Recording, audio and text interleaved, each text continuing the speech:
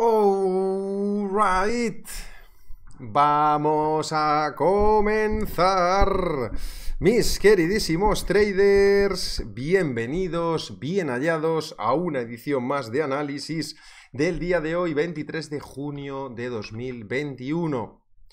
Mi nombre es Carlos Valverde, trader y analista de mercados financieros, colaborador con TICMIL, el broker que hace posible estas sesiones. Y vamos a comenzar, sin más dilación. Hoy toca materias primas, commodities, con un especial hincapié en el petróleo. Lo primero que voy a hacer es compartir la publicación si Facebook me deja, porque estoy de pelea con Facebook desde hace un rato. A ver, está cargando un momento, ¿vale? Mientras va cargando en la esta voy a leer el aviso legal y de riesgo porque ya sabéis que operar Forex, CFDs o cualquier tipo de instrumento es especulativo y de alto riesgo y por lo tanto solo es adecuado para aquellas personas que comprenden y están dispuestas a asumir los riesgos que operar y hacer trading conllevan. La información aquí presentada hoy no es una recomendación de inversión, ni son señales, ni es asesoramiento financiero, ni nada de nada. Es meramente educacional. A ver, un momento, está cargando. Ahora parece que sí funciona.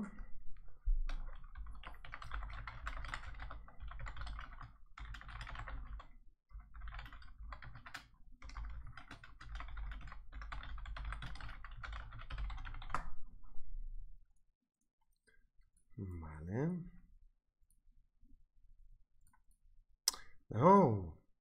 ¿Por qué? Esto es que yo de verdad estoy alucinando con el Facebook, ¿eh? Madre mía. Un momento. Vamos a empezar, chicos. Vamos ya, ¿eh? Dame un segundo. Si quiere dejarme esto empezar.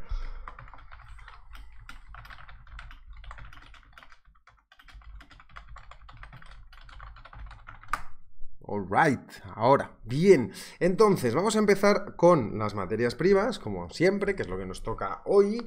Y vamos a mirar el petróleo como principal. Hoy el petróleo es importante. Ahora vamos a ver por qué, porque tiene correlación con otras monedas que están muy fuertes también y nos puede ayudar a entender el entorno de las materias primas, el entorno del mercado nos puede ayudar, aunque no opere directamente futuros del petróleo o futuros de madera o soja, ese conocimiento nos va a ayudar a tener una mejor preparación y una mejor expectativa y un mejor análisis de monedas que tienen correlación con las materias primas.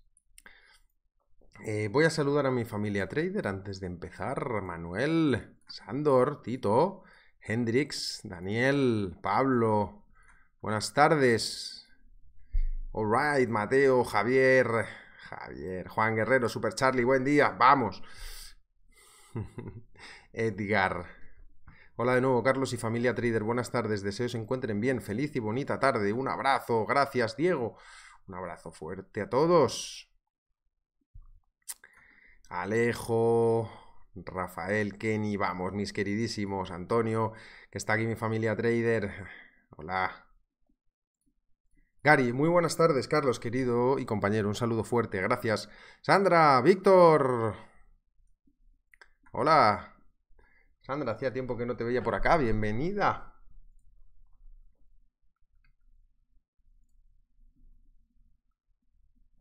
Vale. Un momento, a ver. Alright. José, me mandaste una cosa una vez rarísimo, ¿eh? ¿Está aquí José? No está. Estaba viendo los mensajes y me mandaste una cosa rarísima. José, si estás aquí, pronúnciate. Vale, porque estaba revisando lo de esta mañana, ¿os acordáis del chico que nos comentó que había perdido también fuerte y estaba a ver si nos pasaba el enlace, el, su, digamos, su experiencia para compartirla con vosotros. Santiago, bienvenido. A ver, queda gusto más pequeño.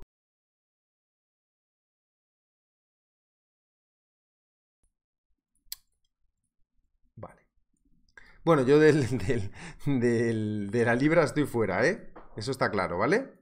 ¿Cómo vais el día del trading? ¿Cómo lo lleváis? A ver, esto, ¿no? ¿Cómo lleváis el día de trading? Eh, algo importante, algo interesante que veáis que tenéis, que os guste, que queráis mirar. Vale, lo primero vamos a empezar con eh, y vamos a echar un vistazo a los futuros. Que los tengo acá. Futuritos, futures. Ya sabéis que en Finbiz eh, tenéis aquí una pestaña de futuros, que es muy interesante. Yo ya, ya, sabéis que esta página la compartí con vosotros hace mucho tiempo. El cobre, el cobre. Juan, lo vamos a mirar. No te preocupes. Yo esta, esta página la he compartido con vosotros prácticamente desde el primer día, es muy útil. Antes de que tuviéramos TradingView, TradingView es algo realmente nuevo. Antes no había TradingView en el trading. Finbiz existe desde el 2007, ojo, ¿eh? que no está nada mal, ¿eh? desde el 2007, ya muchos años en activo Finbiz. Y usábamos mucho esta página, es una página que tiene mucho contenido gratuito e interesante, y usábamos bastante Finbiz. Entonces, lo primero que podemos ver aquí, que vamos a empezar a ver para analizar los futuros,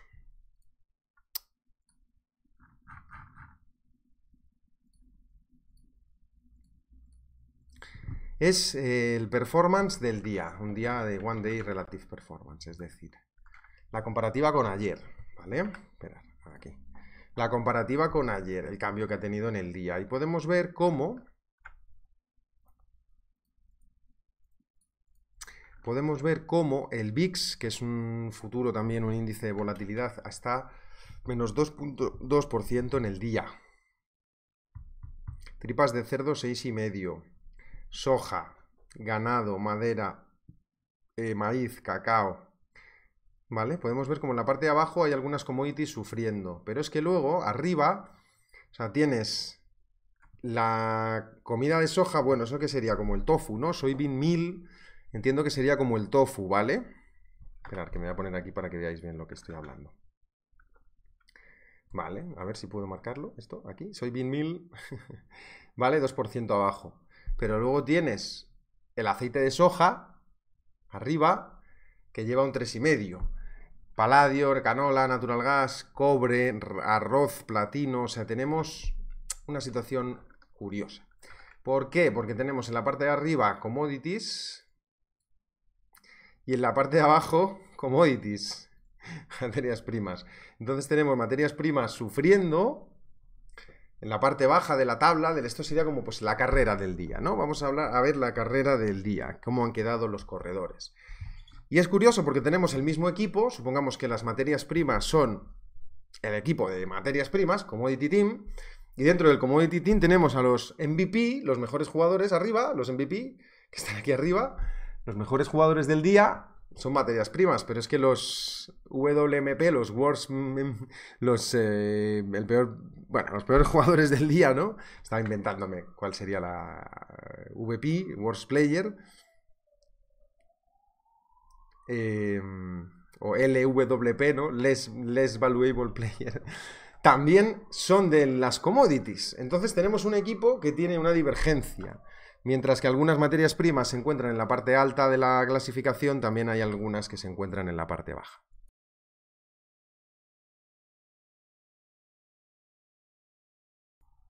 Y esto hace que sea difícil analizar el segmento o analizar el, todo el conjunto de materias primas y que sea difícil y que hay una divergencia en las materias primas, ¿vale? No es fácil. Partiendo de ahí, Voy a ir sector por sector. Mateo dice que le ha sacado 7 pips al orillo. Yo estoy esperando una rotura bajista del oro, que veis aquí que tengo una sell stop, pero que de momento no se ha activado. De momento ha estado un día muy tranquilo hoy, ¿eh? Dólar CAT, si no fuera por la caída tan fuerte, está en un nivel que me parece interesante para compra. Comenta Rafa. Yo hasta que no rechace el 1.23, como hemos dicho hoy en el Café Mercados, no tengo yo, no voy a cambiar, digamos, mi expectativa. Ya tengo, ya tengo hecho la, digamos, cómo quiero actuar en el caso del dólar CAT, ¿vale? Libra dólar, Comenta Gustavo, está respetando el 1.40. Mm, sí, lo llegó a tocar al PIB. Número redondo, no ha tenido hoy el brío de... Parecía que iba a hacer breakout, la verdad, en un momento, pero luego no lo ha hecho. Por eso digo que... Bajista de la semana pasada, correcto. Aquí, ojo, que también depende de cómo pones, de hasta de dónde lo dibujas, ¿eh? Ojo. Si lo dibujas desde el máximo o si lo dibujas desde el origen, ¿vale? Si lo dibujas desde el máximo y no desde el origen del último movimiento, no llega a tocar. Si lo dibujas desde el origen, que está bien también, ¿vale? Sí que es verdad que ha respetado perfecto el 618, que coincide con el 1.4. Igualmente, eh, Gustavo, para mí el trade de hoy es trade más, es decir, eh, habrá días que hará la rotura y hará el breakout y sacaré el beneficio y habría días que no. Pero la clave para mí está en que los mínimos son ascendentes.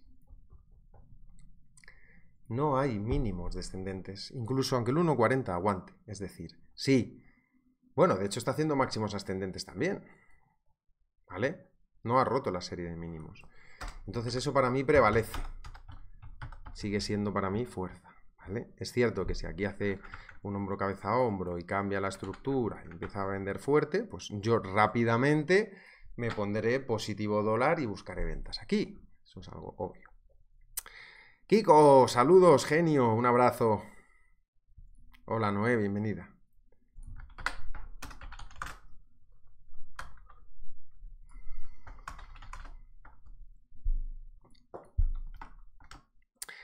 Hendrik, yo compro en el Dow Jones desde los 33268. A ver, tienes un precio bastante bueno, Hendrix, ¿vale? Ahí en la línea.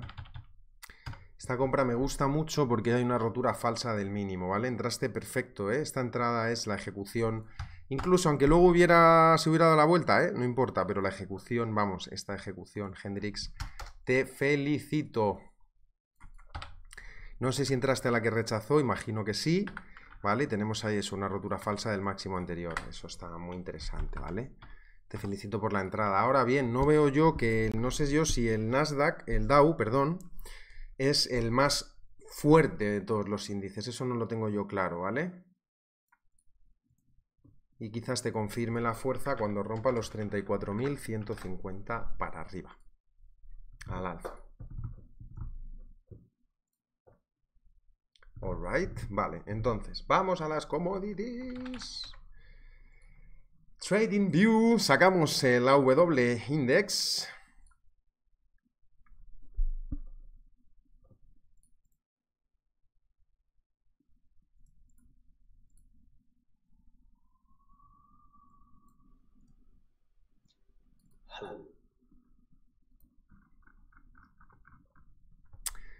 Alright, por cierto, el Bitcoin, ¿qué pasa?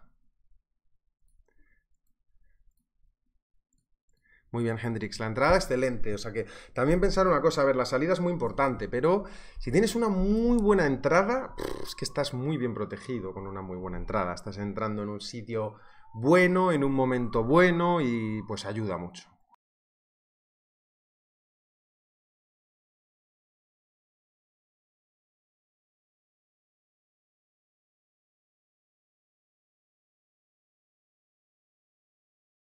Este es el Bitcoin. No es una commodity, no es una materia prima, pero sí me parece interesante que lo analicemos. Esto es el Bitcoin en cuatro horas. Tenemos dos zonas muy importantes y ya de aquí me voy al petróleo, ¿vale? Y a la W. Tenemos el 31.100, ¿vale? Que ha hecho una rotura falsa de ese mínimo. Y tenemos ese 40.000, dame un segundo, ¿vale?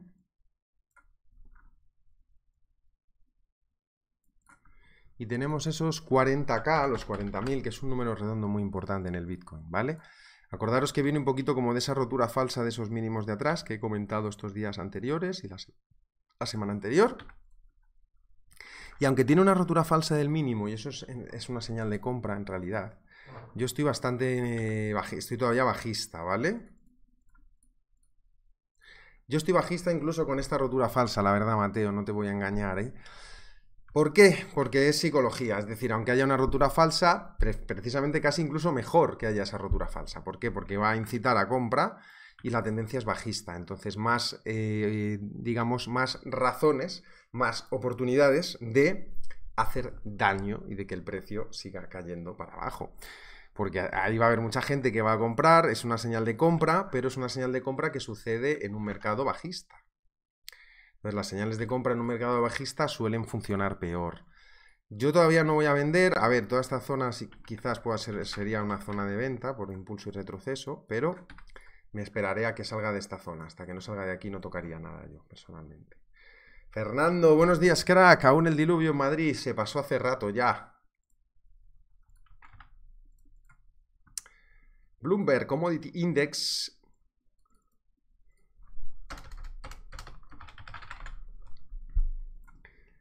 Vale, en semanal. Es que tengo aquí los focos y no veo nada. ¿eh? Tengo que ponerme, como no estoy con la gorra, no veo nada. Tengo los focos encima y no veo nada. Semanal, solo miro un momento este índice porque ya sabéis que el AW Index es un índice generado por Bloomberg en el cual traquea, creo que son 22, 23 commodities a nivel mundial, los futuros, ¿no? Y de momento se mantiene por encima de los 91 puntos. Y eso es una zona muy importante. Esto, como siempre, es un índice, ¿vale? Como en la bolsa, puede haber 4, 5, 10, 20 acciones subiendo, 50 acciones planas y otras 40 cayendo. O sea, es decir, aunque yo tenga un índice y el índice suba, no va a significar que todas las acciones van a subir. Obviamente representa un mercado alcista en el mercado de materias primas, y así lo es. Pero simplemente es la referencia del índice. Es decir, la mayoría de materias primas siguen con una tendencia alcista, incluso aunque eh, esté haciendo retroceso. Pero Antonio, yo necesito que me digas el instrumento, el marco temporal.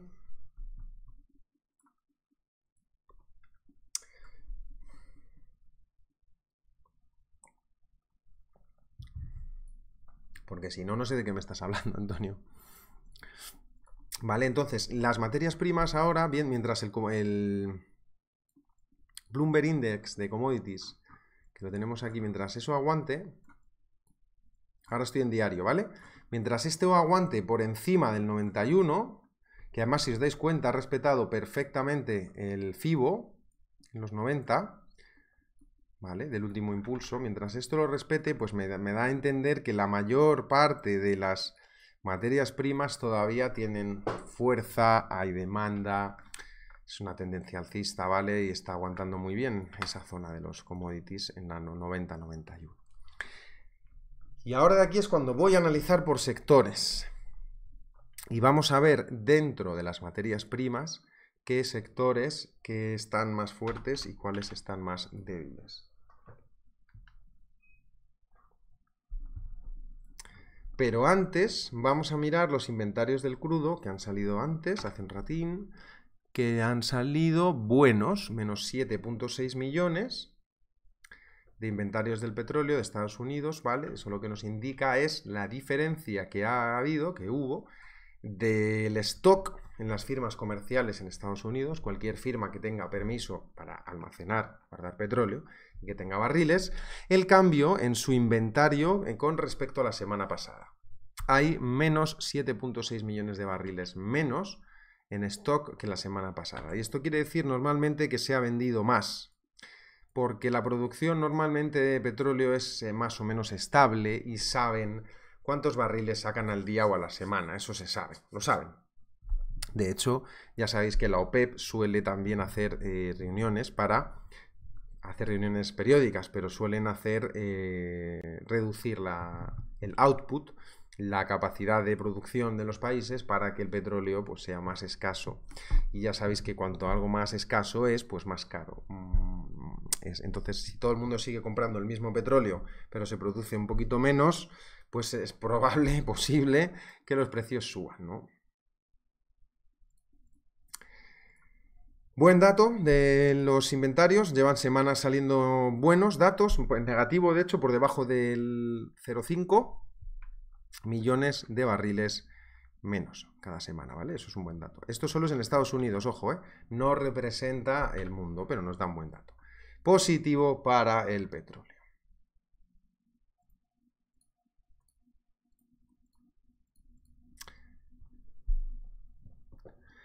Antonio, dólar yen en corto medio plazo, gracias.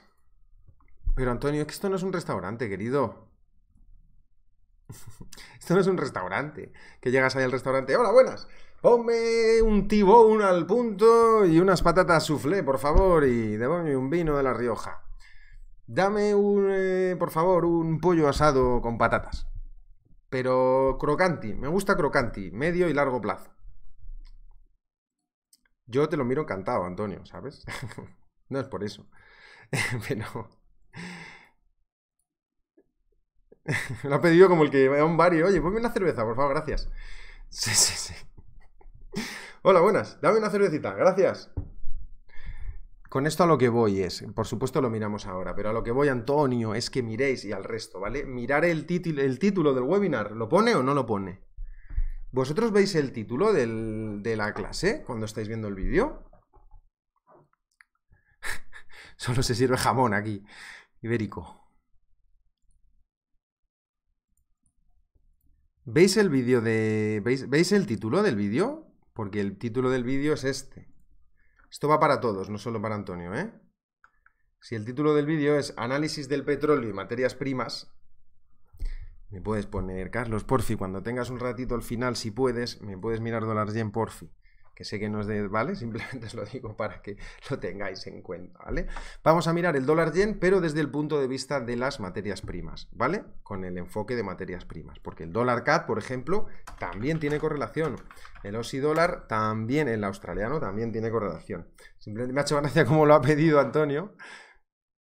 El título sale como header del chat. Pues tendría que estar, o sea, eh, así que está, pero ¿lo veis arriba? Porque yo bajo el chat y claro, no lo veo. Por saberlo, ¿vale? Me ha hecho gracia como lo ha pedido. Por favor, ¿me pones un, un filetito al punto? Gracias. Luego lo miramos, Antonio, ¿vale? Cari, Carlos, querido, estuve leyendo tu artículo sobre la FED, sobre los dot plot, que son los diagramas de puntos, esa proyección que hace la FED que incluye la FOMC interesante y las, subastas de las subidas de tipos que van a haber en el futuro y sobre el aumento en la tasa de empleo y su rápida recuperación. Sí, eso fue lo que habló Powell ayer. vale, petróleo, vamos a los sectores. Futuros. Energía. Alright. Y estoy alcista, ¿eh? el dólar yen, ¿vale? Simplemente, Antonio, por si te corre prisa el jamón. Estoy alcista a medio largo plazo, de momento. Medio plazo. Vale. Estos son los futuros de la energía, del sector energético. Tenemos el petróleo, el Brent, gasolina, heating oil, gas, etanol. Bueno, se ve rápidamente, fácil, ¿no? Que es un mercado, un sector que está fuerte. Se ve, yo creo, fácil. Es un sector que está fuerte, en el cual la mayoría de futuros del sector energético están subiendo, inclusive el etanol, que tiene muy poca liquidez y muy pocos precios, como podéis observar, en diario se ve muy mal, pero igual también el etanol, fijaros. ¿eh?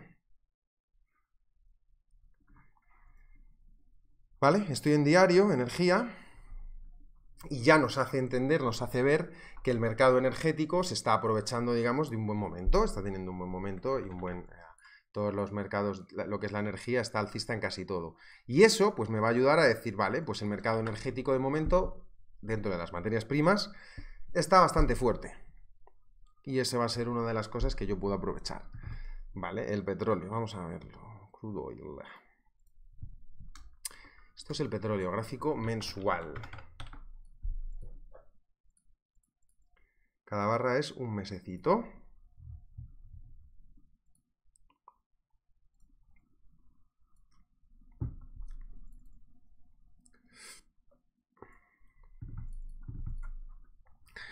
La verdad es que el petróleo una subida imparable.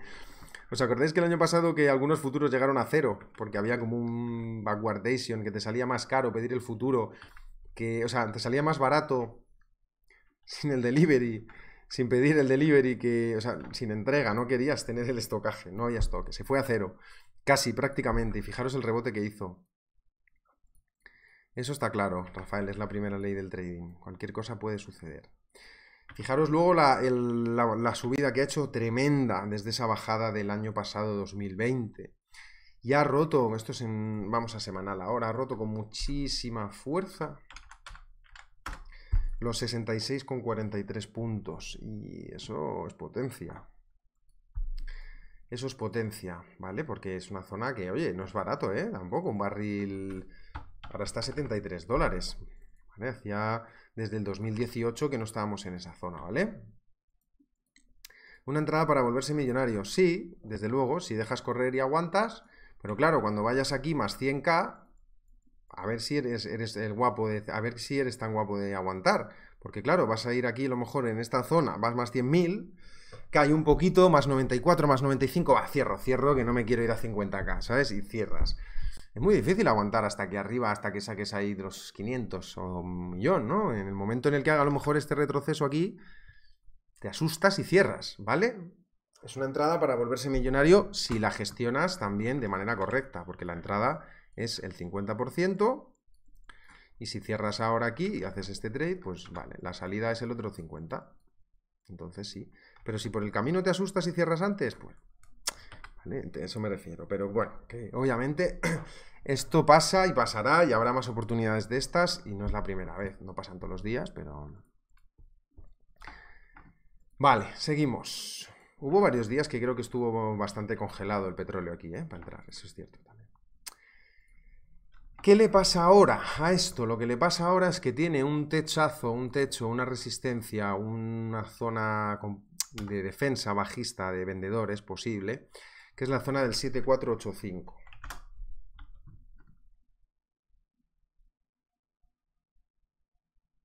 7495, ¿vale? Acabo de buscar justo el PIB.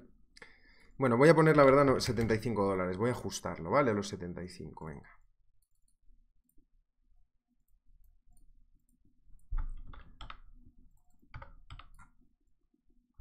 ¿Vale? Los 75 dólares. Tiene una zona que son los 75 dólares, que es una zona complicada, que la última vez que estuvimos ahí, el precio, de hecho, mm, porque esta es una resistencia antigua, ¿eh? 75 dólares, muy antiguo.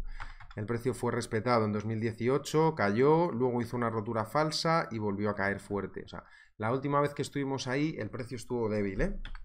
Esto es importante entenderlo y tenerlo claro, que pudiera repetir el comportamiento. Obviamente era un escenario diferente, aquí la tendencia alcista estaba ya empezando a cansarse, ¿vale? Y eso también, pues hombre, afecta. Vamos a ver, aquí viene de una tendencia alcista muy potente, ¿vale? Entonces, si el precio del petróleo, en el caso del, del XTI, del West Texas, rompe los 75 al alza,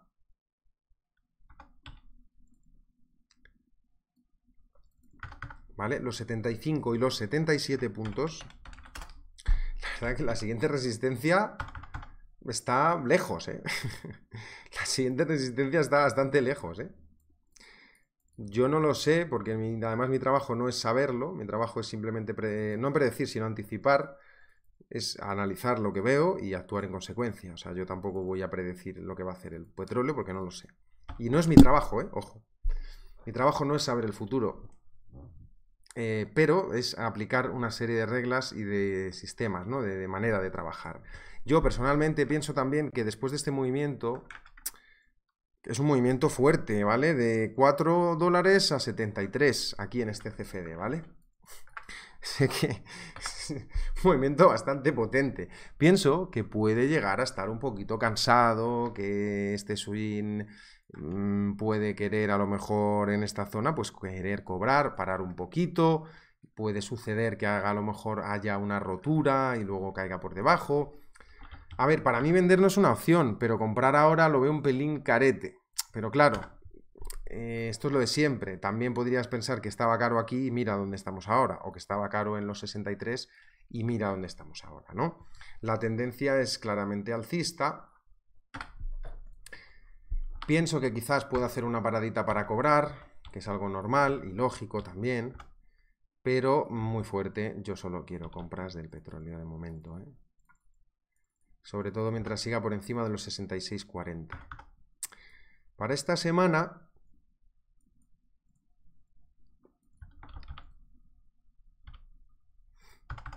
A ver esta semana dónde se pudiera a lo mejor buscar alguna compra.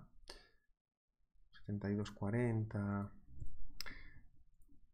Para esta semana tenemos una zona aquí de los, en los 72, que es un número redondo que también está interesante, que ahora desde mi punto de vista lo que es buena idea es observar cómo se comporta el precio en los soportes. Si en los soportes yo veo que el precio está bien respetado y que aparece compra la que baja, entiendo que el mercado sigue muy alcista, muy potente petróleo, ¿vale?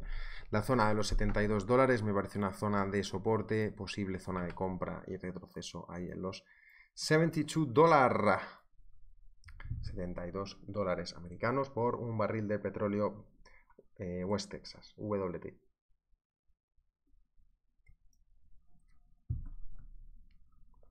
¿Vale? Si tenéis alguna duda, alguna pregunta con esto, cualquier cosa que queráis añadir, por favor, estaremos encantados de, leer y de escuchar vuestras ideas. Ahora bien, vamos a mirar un momentito el Brent, súper rápido. El Brent ya sabéis que se extrae en la zona norte de Europa. Y es un pelín más caro y se está beneficiando menos. Por un análisis, eh, de correlacional, simplemente de, una referencia, puedo ver como el XTI está más fuerte. Está mucho más lejos de ese máximo anterior. Es algo visual, es una referencia visual. Mientras que el Brent todavía no ha sido capaz de... Digamos que el XTI estaría en su referencia en esta zona y el Brent sigue todavía ahí sufriendo mm, con los 75, ¿vale?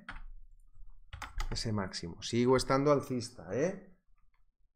Pero obviamente me dice que está menos fuerte el barril de Brent. También es verdad que al ser un poquito más caro, pues mucha gente va a preferir comprar el XTI que le va a salir más barato. Está muy fuerte, pero bueno, también, ojo, rotura falsa ahí del 75, ¿eh? Un máximo anterior. Alright.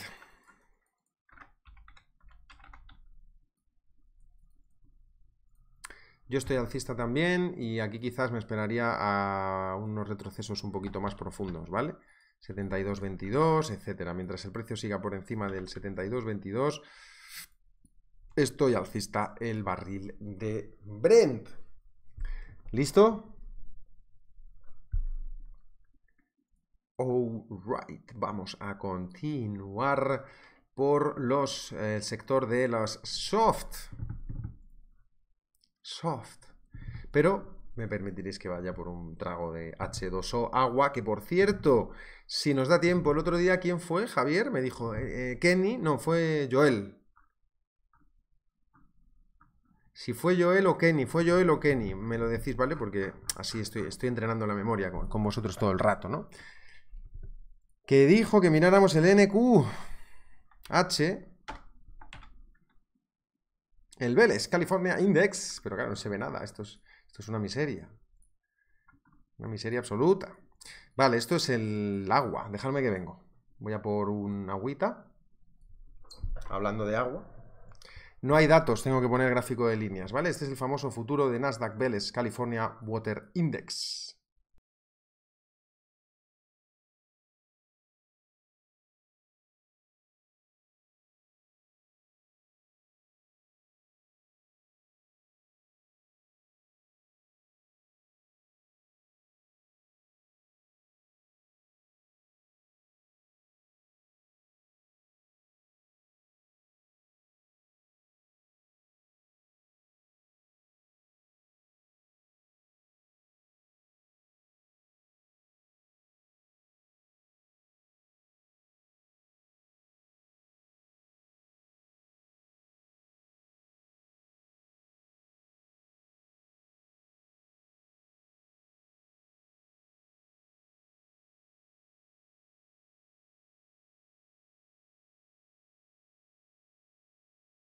Pues entonces fue Joel, creo.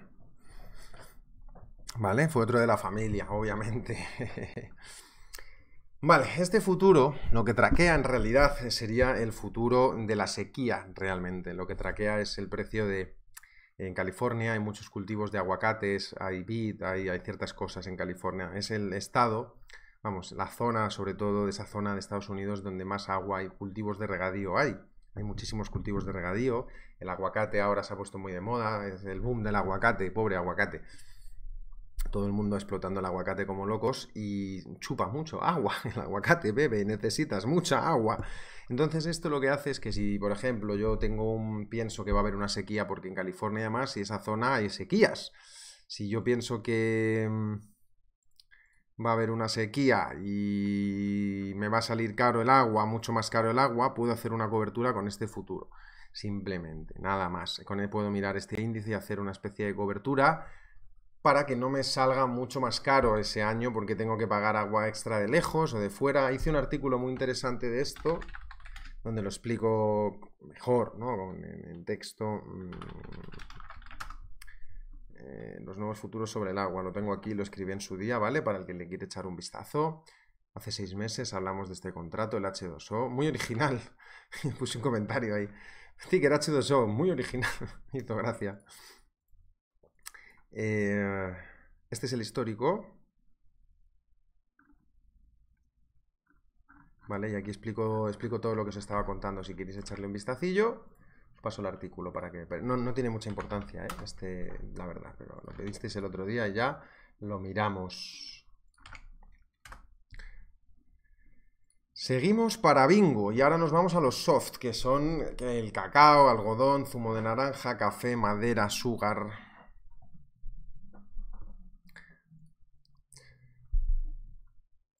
¿Cuáles son las principales diferencias que encontramos aquí respecto al mercado energético? ¿Cuáles son las principales diferencias que encontramos aquí?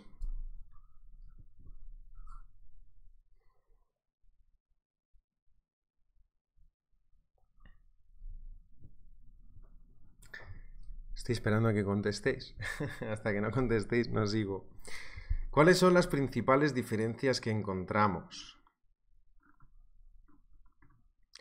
Hay alguna diferencia, la más importante y es bastante obvia, pero quiero que lo digáis y lo escribáis porque así os esforzáis y se os queda más, se os queda mucho más metido en la cabeza. Están en retroceso. Bueno, sí, a ver, el, algodón está subiendo. El zumo de naranja también, es cierto que está en retroceso, pero...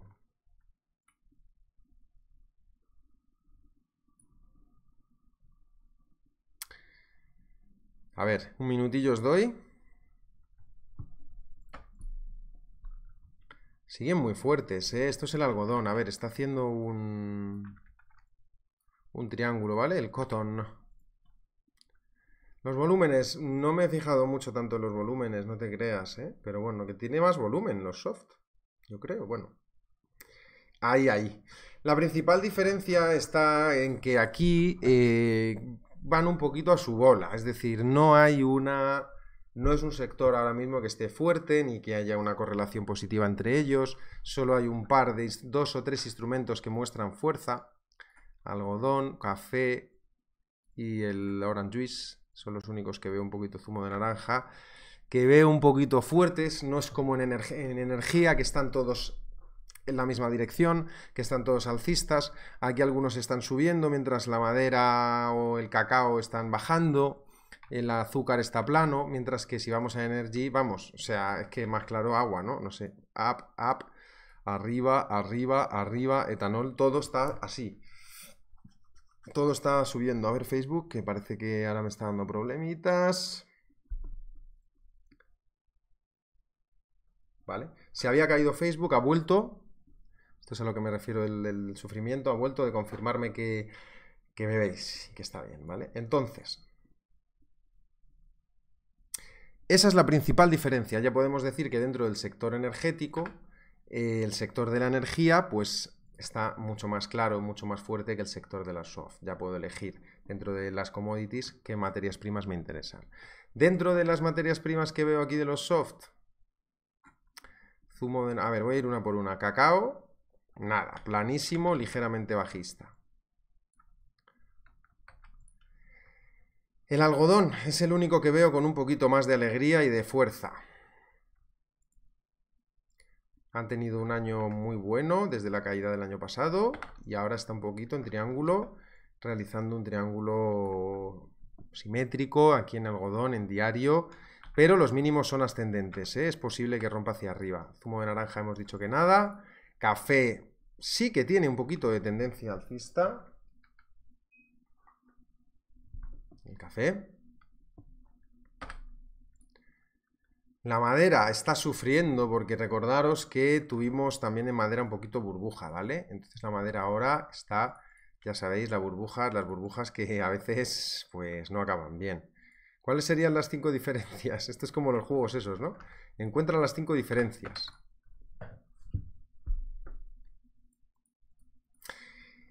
Gary, ¿qué sucedió con la madera cuando tenía una correlación con el oro? Ahora está en una caída fuerte. A ver, son commodities, son materias primas y es normal que tengan cierta correlación, pero la madera estaba muy burbujeante.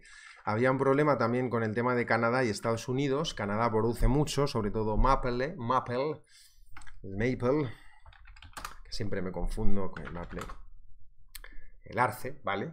Eh, produce muchísimo arce, muchísimo maple o maple, eh, maple y la madera de arce. De hecho, bueno, hay el sirope de arce y todas esas cosas que en Canadá son muy famosas. Y no sé si lo habéis probado, el sirope de arce, pero ojo, ¿eh?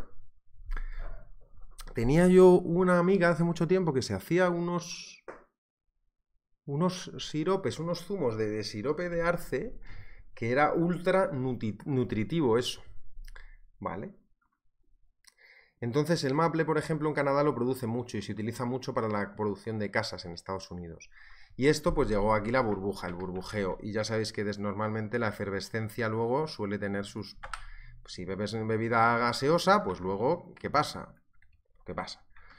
Tiene que salir por algún lado el gas. Entonces, eso es lo que ha pasado en la madera. Fue exagerado en la subida y esto me parece bien también porque es un producto muy básico, muy importante y no queremos que se encarezca demasiado. Ha vuelto a recuperar. Las materias primas van un poquito a su bola y aunque a veces tengan todas una misma correlación, hay mercados por separado que de repente, como la madera, surge un problema con un gran productor, mm, Canadá con Estados Unidos, tal, y de repente va a su bola totalmente y se pega una buena caída. Y está, está bien, está correcto, el mercado se regula y no pasa, no tiene nada de malo. Las cinco diferencias simplemente son, eh, Sandra, que aquí lo que he dicho, no sé si era, lo, lo, decías de broma o no otra vez, pero que aquí solo hay un par de mercados fuertes, café y zumo de naranja, mientras que energía está todo muy fuerte. Metales el mercado del sector metalúrgico, metales preciosos o metales de uso como el cobre, plata, el platino. Eh, diferencias aquí, ¿qué vemos aquí? Por ejemplo, este sector, ¿cómo está? En realidad, esto es lo mismo que cuando hacemos el café y mercados. tendríais que ser capaces de hacer así en un vistazo y en una hora tenerlo claro. No en, análisis en profundidad infinito, pero sí tener claro eh, qué sectores me interesan, qué cosas están fuertes, qué cosas están débiles.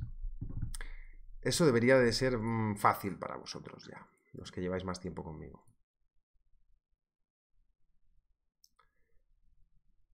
Esto como ejercicio también de lectura del precio lo voy a empezar a hacer, ¿vale? Me gusta, os voy a enseñar esto y voy a decir, a ver, tenéis 10 segundos para decirme, ¿vale? Vamos a hacerlo, venga. Os voy a dar 10 segundos para que me digáis cuál es el qué instrumento de metal es el que tiene más fuerza de todos, ¿vale? ¿Preparados? ¿Listos? 3, 2, 1, tiempo.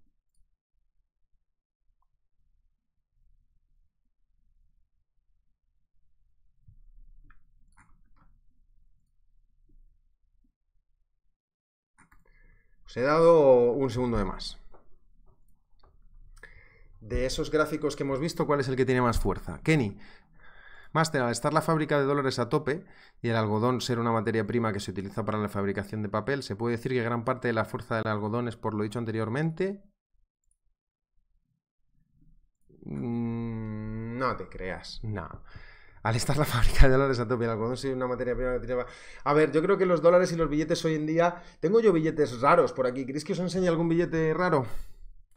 están hechos normalmente con materiales casi sintéticos ya, la mayoría de ellos. Mira, os voy a enseñar un billete un poco extraño.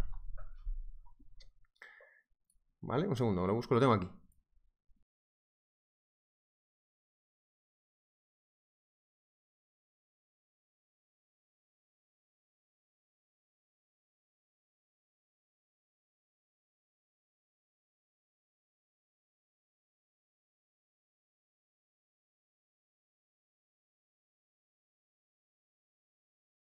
Vale, esto para contestar a la pregunta de Kenny, pero vamos, que... Em,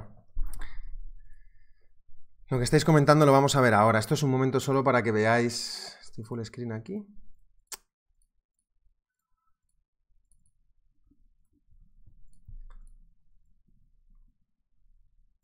La mayoría de monedas modernas que se hacen hoy en día ya son sintéticas. Mirad lo que tengo aquí. Esto es un regalo de un amigo. Yo no sé, no es que sea muy tampoco muy coleccionista de esto, pero bueno, pues nada, a ver, la gente sabe lo que hace, me saben a lo que me dedico y me traen este tipo de cosas, ¿no? Esto es un billete de 5 dólares, a ver si enfoca. Es que se me ve a través del billete, o sea, es, es... 5 dólares australianos. Fíjate, fijaros, el plástico que tiene, que es transparente. ¿Vale? Fijaros. Son 5 y dólar. Por supuesto, no podía faltar, ¿no? Nuestra querida Isabel, la reina. 5 dólares. Y el pajarito también, ojo. Que ese, parece que es. Creo que es el kiwi, el, kiwi también, ¿eh? Ese pájaro, ¿vale? Esto no creo que esté hecho de papel, la verdad. Esto se puede mojar, los puedes, puedes hacer de todo con estos billetes que no se rompen. Son probablemente plástico, ¿vale? O mm, plásticos poliuretanos, eh, compuestos plásticos y le da muchísima mayor, le da muchísima mayor dureza al billete. No creo que usen tanto algodón para esto. El algodón ya se ha convertido en un... En un sí, este la verdad que mola, de 5 dólares, me lo trajo un amigo. Lo, lo, llevo en la cartera de recuerdo, la verdad, lo llevo, sí. Porque me llevaba uno de un dólar y se lo di a él, el típico que llevas un dólar de suerte, ¿no? Y le digo, toma, es un buen trade, la verdad que me alegré. Dije, toma, te doy un dólar y tú me das cinco, vale. Pedro, te mando un beso. Grande, eres un tío grande. Un tío muy grande, Pedro, un amigo mío que estuvo trabajando allí en Australia y me trajo esto. Y yo le di un dólar americano y dije, se lo decía, digo, oye, buen trade, ¿eh? Pero le dije, ese dólar me ha dado mucha, mucha suerte, así que cuídale. Eso no está hecho de algodón, lo dudo. Puede tener algo, pero yo creo que el algodón se va a utilizar mucho más para temas pues, de, ropa, etcétera. Vale, vamos a ver esa respuesta a esa pregunta que ha sido buena y esto es muy interesante ese ejercicio. Para mí el que más fuerza tiene aquí es el cobre, la verdad. El cobre. Eh, ¿Es posible que vayas a leer vuestros comentarios? Master, una pregunta. ¿Cuál es la unidad de medida con la cual se da un precio al café? Me explico. ¿Libras, kilos o saco de café? Tienes que mirarlo, no lo sé, Edgar. Eh, creo que va por eh, pounds. Pero no lo sé. No lo sé porque yo no opero mucho el café, entonces hay que ver el contrato. Creo que eran 120 kilos. Alguien me dijo que, alguien lo dijo aquí, que era un saco, eran no sé cuántos kilos. 120 por ahí. Alguien de aquí lo sabe. Estoy seguro de que muchos de vosotros aquí habéis mirado que tiene un 2,9% aquí, 2,2%, pero en realidad el cobre para mí está más fuerte, el cobre, ¿vale? Que es el instrumento que más fuerte está. Era una pregunta difícil, porque aquí todos han estado cayendo. Entonces lo que más ves es la debilidad, no la fuerza. Pero hay un detalle aquí importante. El cobre lleva tres días con tres velas en positivo, ya alejándose de mínimos. Mientras que el palacio un día en verde, otro día en rojo, otro día en verde, y le está costando, es cierto que tiene mayor volatilidad, pero cobre y paladio serían aquí los instrumentos que tienen más, más fuerza, el cobre y el paladio. El cobre sobre todo, ¿vale? Para mí. Simplemente viendo el precio, ¿vale? El resto no, porque no están rebotando de mínimos. No están rebotando. El oro no está rebotando. La plata tampoco está rebotando. El platino un poquito. Pero comparado con el cobre o el paladio, pues obviamente lo veo más fuerte a estos instrumentos. Entrenar ese ojo clínico que tiene usted, maestro, considero que es lo que nos lo que me o nos hace mucha falta. Son horas, simplemente. Ya haré más ejercicios de esos que sé que os gustan. Análisis correlacional o correlativo o comparativo. Vamos a mirar el cobre, el copper. Manuel dice, yo guardo una moneda de 2.000 pesetas. Qué buenos tiempos. Son un poco más limpios que los típicos de algodón también. Sí, probablemente. Copper en semanal está muy fuerte y en diario creo ver que está en retroceso. Byron, Master, ya viste lo del Basilea 3, pero eso es más antiguo que... Eso es de hace 10 años, Byron. ¿Quieres que hable del Basilea 3 ahora? Tú miraste el bis porque te lo dije yo, Byron, o lo encontraste. Creo, porque yo os lo dije. Os dije que lo mirarais, el BIS. Desde entonces lo miraste, ¿no? Has llegado ahora a ello. Basilea 3 son los acuerdos de Basilea que se refieren a un conjunto de propuestas que se publicaron en diciembre de 2010, me parece, enero del 2011. ¿Vale? Y esto se... Mm, esto sobre todo para el tema de la solvencia, ¿vale? ¿De acuerdo? Entonces lo que, lo que se estableció con esto es el ratio mínimo de capital. Sin más. Eso es lo que se, habló en Basilea. Os puedo buscar un sitio donde lo explica perfecto.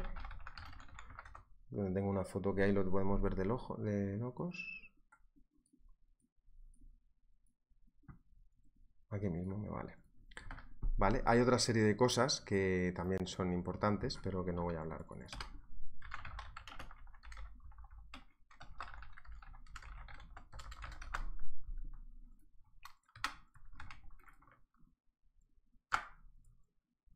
Si te refieres a esto, hace mucho tiempo que, esto está vigente, ¿eh, Byron?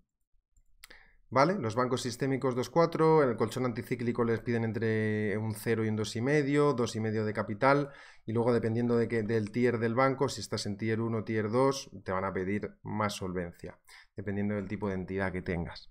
Ya está. Esto se firmó y se ratificó en hace 10 años por el BIS, el Bank of International Settlements, en connivencia y en acuerdo con el resto de bancos. Está estupendo que lo mires, Byron, y es muy interesante y que, vayáis a esas fuentes a analizar eso, ¿vale? Pero ese será otro acuerdo, Byron. El Basilea 3 es de hace 10 años. En el 2010, después de la crisis del 2008, ¿vale? Muy interesante y sobre todo también te recomiendo que mires los reportes del BIS que hacen de Forex. Cada 2-3 años hacen un reporte del mercado de divisas que es de locos. Es brutal.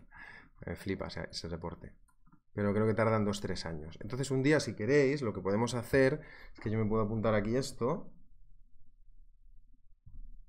y puedo hacer un día un vídeo de, sobre el tema del, del, BIS y de Basilea y de todos esos acuerdos. En específico de este tema. Juan dice, yo entré en cobre en 4.1, 4.17. A ver, ahora estoy en semanal, esto es el cobre, lo estoy analizando porque está muy fuerte y el mercado de cobre está fortísimo. Ya te dije, yo creo la última vez el nivel era el mismo. Mientras el precio siga por encima del 4, de 4.27. Sí, está muy bien. Es una fuente que yo llevo investigando muchos años y que muy poca gente conoce. No saben ni lo que hacen, ni dónde están, ni a lo que se dedican. Es un poco oscuro, un poco, un poco underground. Y ellos así lo quieren, ¿eh? Ellos así lo quieren. Así que os animo a que lo miréis. Bueno, lo que le digo a Juan, que el petróleo, el petróleo, digo, el cobre Copper, que por cierto es fundamental el cobre, por supuesto, para la, industria, em, tiene una tendencia alcista, pero debería, siempre hay que tener cuidado, pero más esta vez en el 4,5, ¿vale? 4.5. 4.5, ¿vale? Cuidado ahí que, que hay una zona de resistencia fuerte y el precio, digamos, que viene de hacer una rotura falsa de los 4,65, Juan, ¿vale? No tienes mal precio, has pillado el mínimo prácticamente, y a ver ahora hasta dónde nos llega. Pero hay resistencias ahí arriba, 4,5, 4,6, mucho cuidado con, esas zonas, ¿vale? Y también estar atentos a las correlaciones. Vemos, si vemos que el oro y la plata pues empiezan a caer fuerte, por mucho que haya uno de los instrumentos que sea el más fuerte de todos, pues no hay magia. Podemos ver que cuando caen, pues caen todos, eso está claro, ¿no? A ver, es así, son metales y están conectados. Si cae el oro fuerte y el pala, pues caen todos pero si vemos que, o sea, que esta caída, Juan, puede incitar a nuevas caídas, es a lo que me refiero, ¿vale? Esta caída tan fuerte que ha tenido el oro, por ejemplo, o la plata, ¿ves? Yo quiero vender oro. Esta caída tan fuerte que ha tenido el oro y la plata, pues mm, es posible que incite a más ventas, que sigan, que sigan vendiéndolo en un futuro, ¿vale? Que incite. Porque no da mucha confianza para compra este tipo de bajadas. Cuando yo veo esta bajada así, la verdad Sí, podría decir, está barato, pero si está barato por algo es. Obviamente, claro, claro. O sea, no, está claro. Dice, también están interconectados a través del dólar. Estáis, esto es como un par ¿eh? de Forex. Estás operando XAU dólar. Podrías operar, por ejemplo, XAU euro. Decir ¿vale? Aquí tenéis eh, oro, euro, XAU, GBP, oro, libra, 1276, ¿vale? Pero ya te vuelves loco, ¿de acuerdo? Aquí estoy viendo el oro contra la libra. 1276 eh, pounds, una onza de oro, y el euro, 1500 euros, una onza más o menos de oro. ¿Vale? Entonces, ¿qué nos falta por terminar para ver de los metales? Que nos oigo. A ver qué falta, qué nos falta mirar. Vamos, chicuelos, venga, que os tengo entrenadísimos. Dejarme el listón bien alto.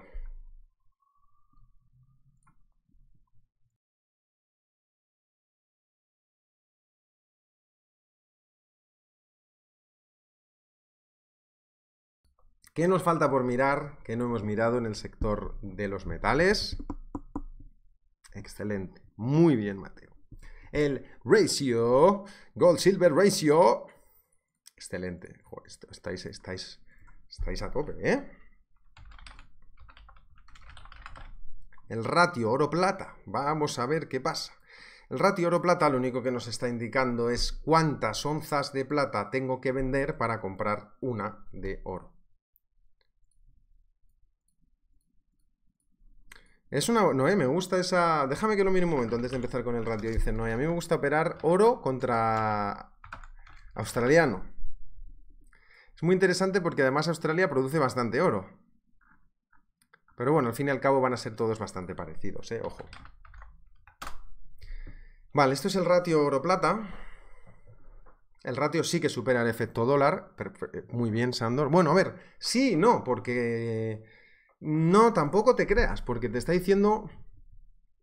Sigue estando el dólar, ¿eh? Metido en la ecuación ahí.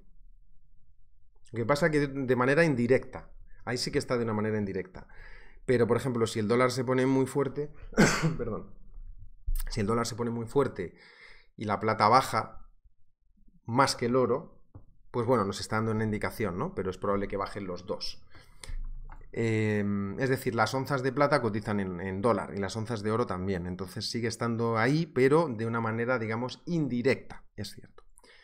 ¿Qué le pasa al ratio oro-plata? Lo único que nos indica este ratio es cuántas onzas de, de plata yo tengo que vender para comprar una onza de oro. 68 onzas de plata. ¿Vale? Lo explico para que la gente sepa lo que es. ¿Por qué? Porque ahora mismo la plata se encuentra a 26 dólares la onza, entonces si yo multiplico 26 dólares la onza de plata por 68, que está el ratio plata-oro, oro-plata, 68, ¿no? Hemos dicho, por 68, ¿qué me va a dar? Pues el precio de una onza de oro, 1.768 dólares. Voy ahora al oro, miramos el oro, y podemos ver que el oro, bueno, cuánto ha salido, 1,768, bueno, 1,783. No he metido los decimales y por eso no da justo, ¿vale? Pero es, eso. Y lo que nos está indicando es que puede ser que haya un pequeño cambio. De momento ya sabéis que esto si está muy bajo es que hay eh, búsqueda de riesgo y si está alto es que hay aversión, ¿no? Más aversión al riesgo. Y de momento eh, hay unos mínimos ascendentes, pero sigue por debajo del 70-50 y de los 74 y de los 70 eh, onzas de plata por una de oro, es decir, todavía sigue bastante fuerte la plata y hay todavía búsqueda de riesgo, pero mínimos descendentes. Si atraviesa esa zona, entonces sí que podría ponerse mm, más fuerte el oro que la plata. Aunque de momento podemos ver que sigue bastante débil el ratio y la plata está fuerte. Entonces, los metales, para mí, yo quiero vender, la verdad, sobre todo los más débiles, y pues a lo mejor eso, oro, plata, creo que son los que más débiles están y son los que más me interesarían vender. El oro que está aquí arriba y la plata que está allá al otro lado. Seguimos MITS, que ni lo voy a mirar, la verdad, porque nadie va a operar esto y son además ah, futuros un poco líquidos, complicados, que tener mucho margen. Estos son todo tema de alimentación, lean hogs, tripas de cerdo. Esto es magro. Em, magro. ¿Y qué pasa con el magro de cerdo? Que está empezando a caer un poquito. Seis y medio ha caído hoy. Uf. Gap bajista continuación, ¿eh? Ojo, eso es mucha debilidad, ¿vale? Cuando el precio hace eso, ¿vale? Hace un gap y continúa la dirección del gap, significa que no lo quiere nadie, al pobrecito. La gente ahora con el rollo vegano, pues lo de las tripas de cerdo, lo de la... el rollo vegano ahora, las tripas de cerdo no, no tienen buena pinta. Van a tener que sacar unas tripas de cerdo veganas. Y eso seguro que triunfa. Una idea de millón para haceros millonarios. Las nuevas tripas de cerdo veganas. Vale, igual que la tostadora transparente. Eso también es una idea para haceros millonarios.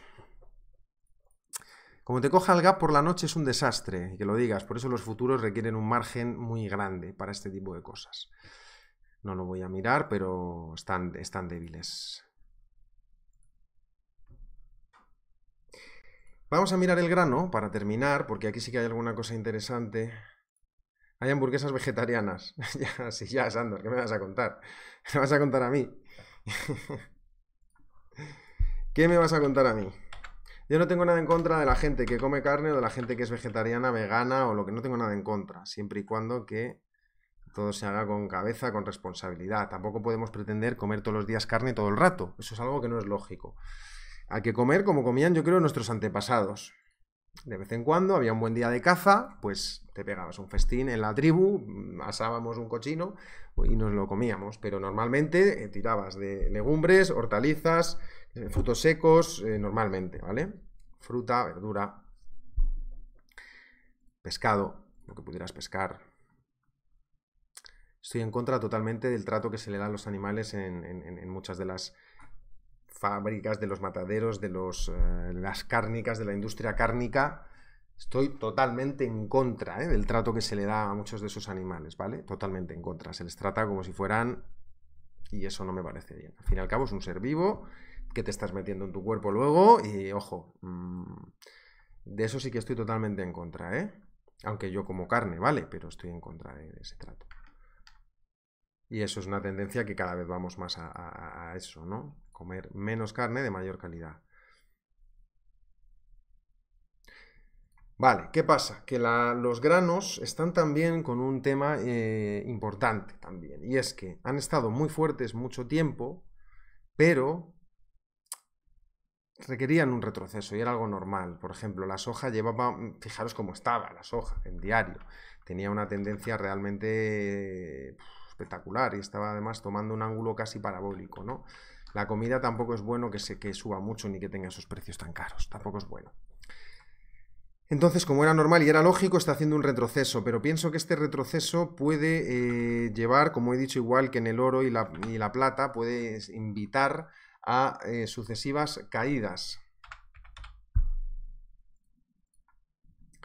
Esta es la soja.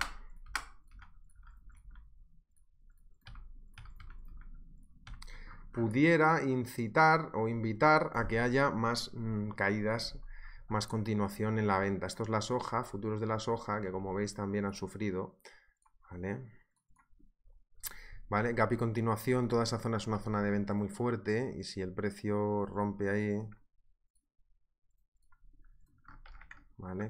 Suben hasta ahí, hasta la zona de los 1480, pudiera ser una zona de venta, ¿vale? 1480, ¿vale? Pudiera ser también una zona de venta, es decir, quizá eso, que le falte un poquito más de todavía de daño, ¿no? De caída. Además tiene máximos descendentes. O sea que yo estoy ligeramente bajista aquí en el tema de los granos y demás. Estoy ligeramente bajista, excepto el arroz, que veo que es de los que más está aguantando, aunque está muy plano y no, nadie no vamos a operar esto, ¿vale? Estoy un poquito bajista la soja, ¿eh? Un poquito bajista la soja que ha tenido unos meses muy, muy, muy potentes.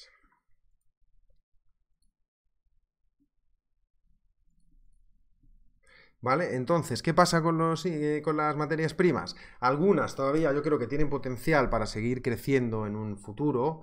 Eh, en un futuro, pues eso, vamos a ver por ejemplo en el anual, ¿vale? ¿Cómo va en el, año?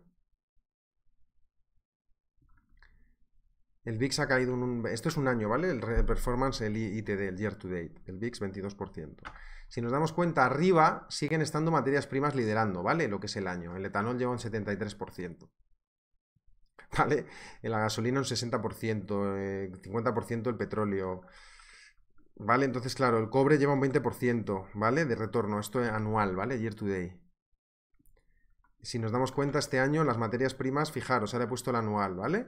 El año relativo. en relación al año hace un año. se ha doblado, la soja lleva un 100%, incluso en estas caídas, ¿vale? Entonces esto lo podemos ver. Y el VIX, esto es lo que yo digo, que digo, si es que el mercado está... Si es que el mercado está aburridísimo, si es que está, está sosísimo, muy soso. He vivido tiempos más sosos, más aburridos todavía, pero el VIX lleva un 42% de bajada en un año. Es verdad que el año pasado, claro, con, con, eh, eh, la caída de, con el aumento de volatilidad por lo del COVID y luego la disminución, es normal, ¿vale? Eh, Noé, en una provincia de China celebran un festival en donde comen carne de perro por 10 días. A ver, lo veo poco común y seguro que todavía se sigue comiendo carne de perro y de animales domésticos se comen ratas, se comen cobayas, se comen gatos, se comen perros, se comen cerdos, se comen chanchos, se come caballos, la gente se come caballos, se comen toros. Y es así. Eh, yo, obviamente, un animal, los animales de compañía, pues es imposible comérmelo, pero es que me pones un cerdo delante vivo y me costaría mucho también matarlo y comérmelo, porque al final también te vas a encariñar de un cerdito. O sea, lo ves, es un mamífero, tiene muchas cosas en común, y lo ves delante y me costaría. Ojo, yo he visto matanzas en mi pueblo, ¿eh? En, en lo que se dice, ¿no? A cada cerdo le llega su San Martín, ¿no? El día, eso se hace pues en noviembre, ¿no? Octubre, noviembre, cuando llega el invierno, pues aquí en España se hacía la matanza, ¿vale? Se lo llaman el guarro, ¿no? Lo mataron los guarros o el cerdo, en Andalucía, Extremadura, toda la zona también de Castilla. La matanza es algo que era, es algo, vamos, Haces una vez al año y haces morcilla, chorizo, lomo, jamón, sacas de todo, para todo el año, ¿vale? Y matas un cerdo y con ese cerdo tienes, vas para meses, con un cerdo, ¿eh?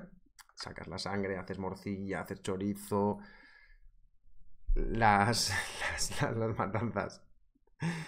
Las matanzas. Y eso se está perdiendo, ¿eh? Se está perdiendo, ¿eh? cada vez queda menos. Y ojo, que eso era lo más sostenible posible, porque esa, la familia cuidaba al cerdito, le daba de comer, Mm, mantenía a los hijos para el año que viene, los, los cuida, y ni le daba pena también a la, gente del pueblo matar al cerdo, pero claro, hay que comer.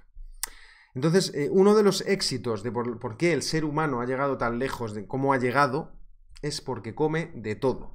Ese es uno de los éxitos, la adaptabilidad que tiene el ser humano. Puede vivir en Alaska o en el Polo Norte, bueno, es complicado, pero tienes a los esquimales viviendo en un entorno realmente muy duro, como tienes a gente que vive en el desierto, eh, los bereberes del desierto, o gente que vive en zonas que son realmente extremas. El ser humano, uno de sus, digamos, sus ventajas ha sido la adaptabilidad, que son capaces de comer de todo.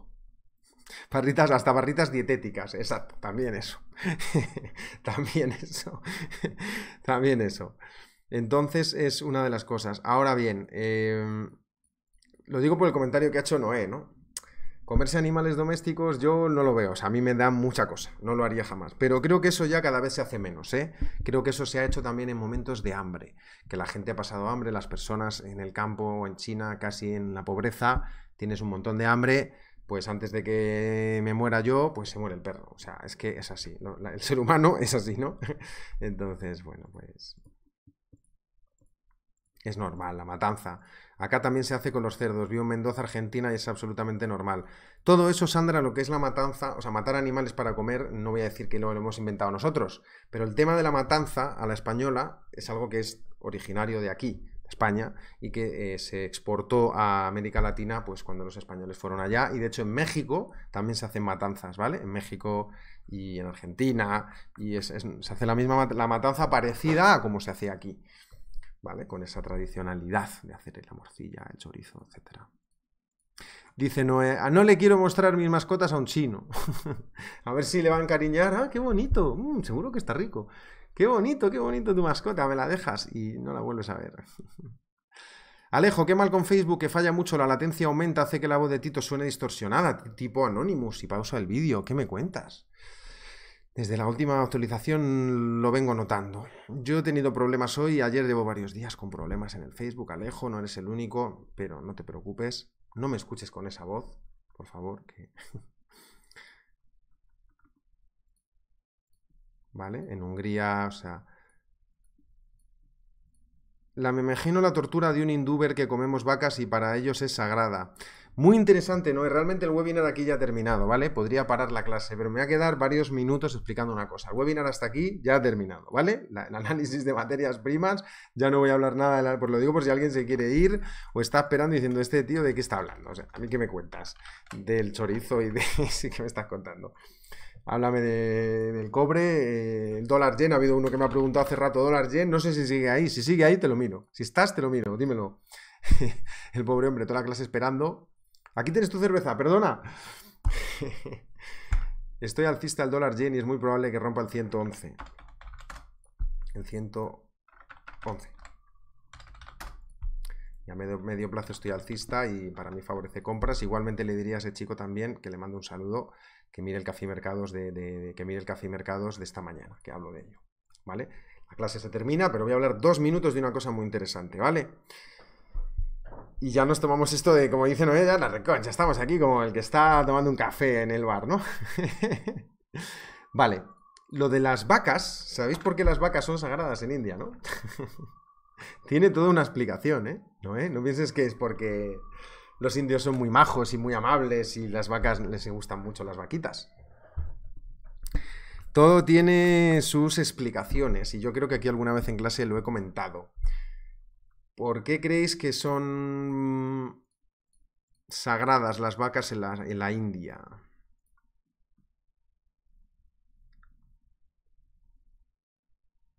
Dalí se comió a su gato, si no estoy mal. No lo sé, Mateo, pero a mí Dalí obviamente su arte es increíble, pero como persona o personaje, mm, no sé, no le aguanto mucho, no me gusta mucho. Le veo muy, subido al personaje, ¿eh? que en paz descanse, Dalí es un artista internacional increíble, pero su personaje no me gustaba mucho, era demasiado excéntrico, demasiado loco para mí. Sandor, yo estuve en Brasil y no comí carne de cerdo durante el mes que pasé allí. Cuando volví el sabor de la carne de cerdo me pareció horrible. Depende del cerdo, de la parte que comas, de todo. Es como todo. Es cuestión de acostumbrarse. Ah, mira, eh, ha sido Edgar el que me lo preguntó, la recocha. No sé lo que es, yo lo he dicho, pero... Bien, pues por ahí ya vas bien, Sandor. Por ahí puedes ir tirando, ¿vale? Juan, un abrazo y que tengas buen día. Voy a contaros una cosa para el ser humano a veces es tan tonto que tú le explicas algo de una manera racional, y me incluyo, ¿eh? yo estoy dentro de ese parte ser humano tonto, eh, le explicas algo de manera racional y le dices, mira, ese cerdo se ha estado rebozando en la basura y tiene un montón de enfermedades. Yo que tú no me lo comería porque puedes coger la triquina, puedes pillar un parásito y te puedes morir por comerte un cerdo. Y tú le dices eso a alguien y te dice, ah, Charlie, que no pasa nada, yo me como el cerdo, que no pasa nada. Eso está bueno, yo me lo como. Pero si tú le dices, mira, Alá dice que el comer cerdo está prohibido y como te comas un cerdo no vas a ir al cielo, vas a ir al infierno, lo que sea, yo no sé. Si, no quiero que nadie se me eche encima, ¿vale? Nadie de, islamista o musulmán que sepa de esto porque yo no tengo ni idea, pero creo que va por ahí un poco. Muchas de las cosas religiosas tienen sentidos lógicos, sentidos racionales. Y entonces tú le dices, mira, mi religión, nuestra religión prohíbe comer eso. No vas a ir al cielo si te comes un cerdo. Vale, no te hago más preguntas. No quiero cerdo. Vale, así de sencillo. Feliz día, Kenny. Y esto se estudia en antropología. Normalmente, entonces, en India lo mismo, las vacas son el tractor de la India. Si tú en un país con, ¿cuánta gente hay en la India? Más de 1.300 millones de habitantes. Hola, Antonio. Si tú comes vacas, sabes que en 50 años tu pueblo se va a morir de hambre no vas a tener eh, un tractor para arar la tierra y sacar arroz, que vas a dar de comer a mucha más gente. Aparte, bueno, el tema hinduista y tal también tiene otras cosas, ¿vale? Estas son partes de las razones, hay siempre más cosas, pero...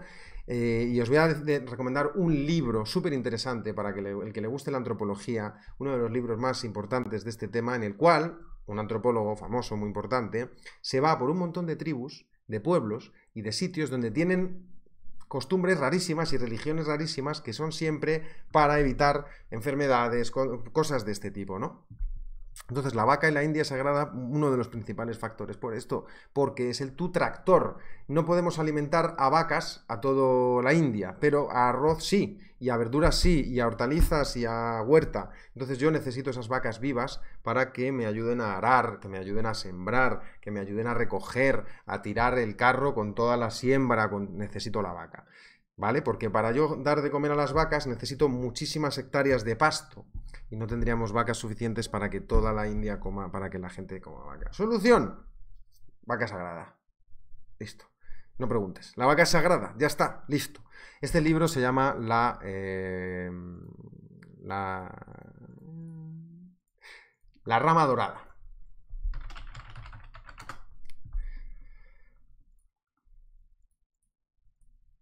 Está escrita por el escocés James George Fraser, La Rama Dorada, y es un clásico. Ojo que no va a ser fácil de leerlo. Eh, son tres volúmenes y luego aumentó hasta 12 volúmenes. Eh, ojo que esta obra, ojito, ¿eh?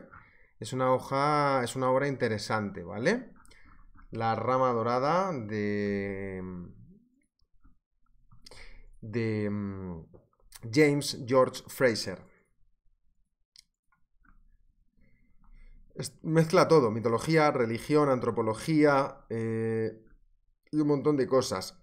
Y habla de estas cosas, como hay pueblos que tienen en su religión cosas muy raras y él siempre suele encontrar una, digamos, una relación práctica. Entonces, bueno, es muy importante. Te lo recomiendo, ¿eh, Sandor? Ese es muy interesante, te va a gustar. La rama dorada. Se me hace mucho tiempo sentido lo que dices de las baquetas. ¿Vaquetas a qué te refieres? De lo de las vacas, ¿no? De las vaquitas. Claro, tiene sentido si lo piensas que comemos vacas en 50 años, la India no tiene más. Entonces no vas a poder dar de alimentar con las vacas a toda la India. Son mucha gente. Pero con la verdura, con el arroz, sí. Las vaquitas. sí, sí, te entiendo. Ahora sí te entiendo, Edgar. Las vaquitas, sí. ¿Vale? Entonces, bueno, que penséis que detrás de las religiones, de todo, tienen mucho conocimiento, hay mucha sabiduría detrás. Esos sabios antiguos eran listos. Entonces, hay muchas cosas de la religión que son prácticas y que nos han ayudado a tener una mejor vida. Y sigo creyendo que es bueno que las vacas sigan siendo sagradas en la India. Porque, y es sagrado, porque da de comer y te ayuda a hacer la siembra. Si no, probablemente habría un problema alimenticio, ¿eh? ¿vale? Así que bueno, quedaros con eso para que lo sepáis. Por eso la vaca es sagrada, es el tractor de la India, ¿vale? Luis, en, Tehuacán, Puebla, México, mi hermosa ciudad, tienen por tradición matanza donde más de 10.000 chivos son sacrificados en plato. Ya, ese tipo de cosas a mí tampoco me gusta tanto. ¿Vale? Del cerdo, todo eso, bueno, pues es muy interesante. Hemos hecho una pequeña, un pequeño em, off topic al terminar con el tema este y os recomiendo eso, que, penséis a partir de ahora, cuando os metan algo que, veáis que sea algo religioso, que aparentemente no tiene sentido, pero que es una pena como para decir, está sagrado, vas al infierno, es importante echarle un vistazo y pensar, ¿por qué puede ser? Ir hilando, conectar. Correcto. Lo mismo, Alejo, es lo mismo, lo mismito. Es lo mismo con la circuncisión de Medio Oriente. Si no tenías buen aseo por falta de agua, se infectaba, se puede infectar. Entonces, claro, eso es, es muy importante para la salud, para evitar infecciones, para evitar. Entonces lo haces por religión y punto. Ya está.